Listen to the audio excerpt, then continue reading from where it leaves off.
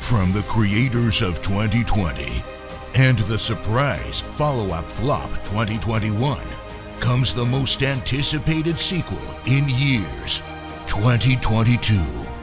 More masks, new variants, boosters galore, and for the first time, introducing at home testing kits.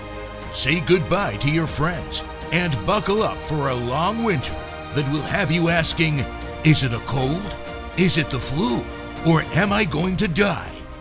On January 1st, experience the start of a new year that will feel just like the old years. 2022. This shit's getting old.